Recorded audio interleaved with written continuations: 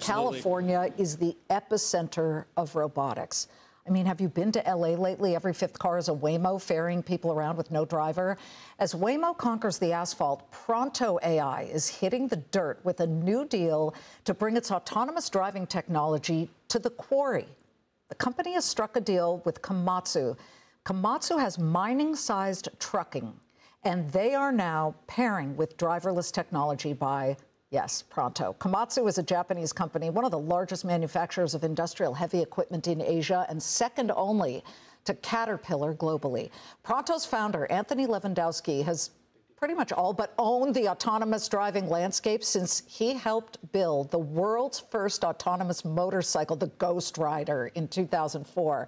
And then he went on to co found Waymo, Google's self driving car, in 2009. Now Levandowski says he wants to, quote, automate everything with wheels. So, how fast are those autonomous wheels moving toward dominance? Joining me now in a first on Fox Business interview is Pronto founder and CEO Anthony Levandowski.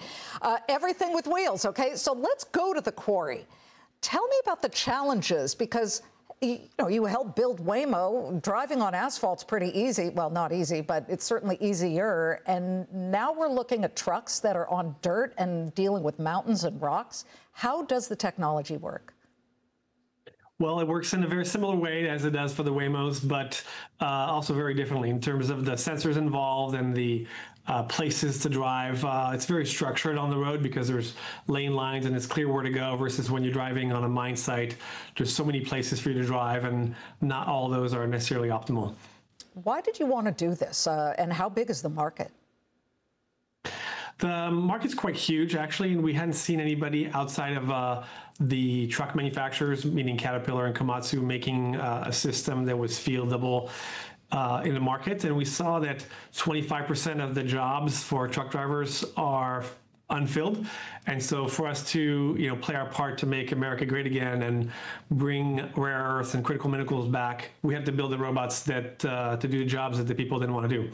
What kind of challenges did you face? And I ask that because I know that these are your technology is equipped with cameras and what else to make sure that they don't hit some type of gigantic rock or some hill of sand and fall over? I mean, explain to us how you were able to put this, I guess, software together to make sure it actually worked.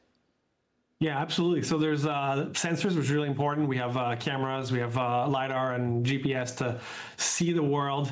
Uh, then there's an onboard computer that takes that information and feeds it to the AI model to drive the system safely.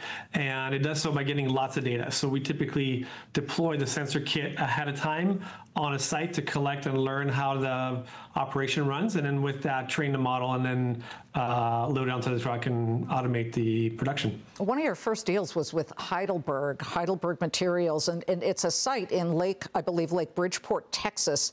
Uh, when that first deployed, in how many trucks, and were, were you so excited standing there? I mean, what kind of problems did you first endure that you then had to deal with and fix? Yeah, so the mining environment is much more harsh than driving uh-huh. on the streets. So the wear and tear on the sensors in the vehicles was much harder than we were expecting. We were breaking steel bars. They were being used to mount cameras because the trucks were so wow. uh, taking such an abuse on, on, the road. So it was really uh, crazy from a mechanical perspective. Um, so we rolled out and automated seven trucks and uh, completely automated the production for that site from the you know Howard Haulage perspective. And that really was a game changer for them because they were struggling getting uh, drivers and they weren't able to meet their you know production numbers without going overtime. And now we can provide all this extra capacity for them that's on demand. Uh, in the summer, if you want to run the trucks longer, just keep them running. And in the winter, you know, just run them whatever the hours that you need to do to meet your demand. Let's get to the human component of this. And we've spoken to Jensen Huang of NVIDIA, who has been very clear that there are a lot of jobs that will go away in all of this.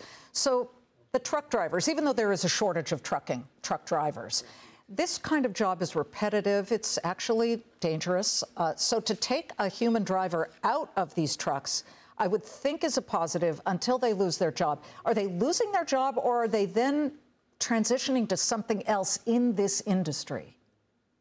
Yeah, we've seen everybody that we've automated a truck that they were previously driving go on to move to a better job in terms of automating.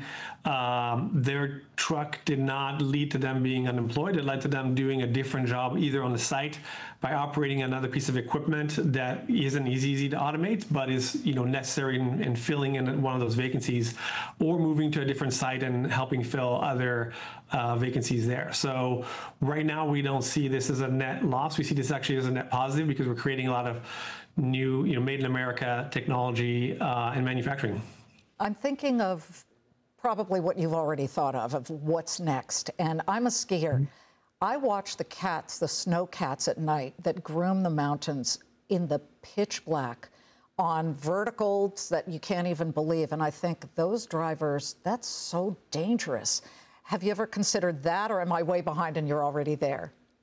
No, I think you're you're you're ahead of the game here. You know, we're really focused on um, rinse, lather, and repeat um, phase of our business of deploying more trucks. Mm-hmm. But you're right. There's a lot of places where automating the grading and the machining of the earth, whether it be snow or dirt or you know other material, is uh, is a critical and and you know we want to help do our parts. We're really focused on trucks right now because we think there's a huge opportunity there. Okay, so when when you do the snowcats, you can be like you know, tell Vail Resorts it was my idea.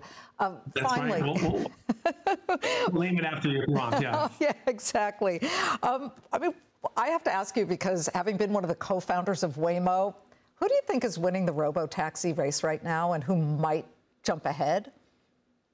Um, well, there's the domestic race, right, where Waymo is clearly ahead in the lead uh, substantially over competitors. But there's a whole geopolitical where, you know, China has three legitimate competitors to Waymo that are being deployed in a variety of places. And so it's really up to America to, to rise up and, and deploy the tech and scale up and show that we're, um, you know, leading the field here, not just in America, but worldwide.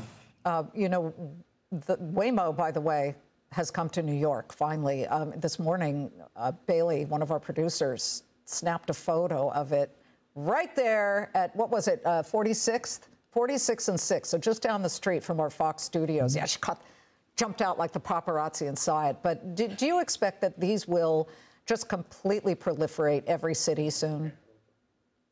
I mean, if you look at it, being driven around in a driverless car compared to you know a manned Lyft or Uber, it gives you more privacy. Um, you feel safer. It's very consistent. You can understand it. So it's kind of the next step of the evolution of what the car will become, right? And so you think about it today, there's a lot of names for like dashboards. These are all coming back from the horse and carriage age. But looking forward, you know, I could see every single car having the sensors and the technology built in, not yeah. just the ones that are for but the ones for your driveway as well. Well, it's been proven that uh, autonomous driving is actually safer in many cases. And even Warren Buffett, who obviously his company owns Geico Car Insurance, he said it's really going to hurt our business because robotic drivers are much safer than human drivers, so fewer accidents. Anthony, good luck to you. Thank you so much. Pleasure being here. We want to see your next big iteration, so keep us posted. Thank you so much.